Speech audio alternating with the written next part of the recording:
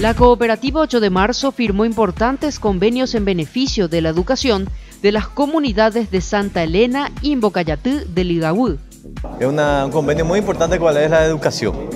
Como dijo la supervisora, si uno hace una buena educación, el país va a adelante.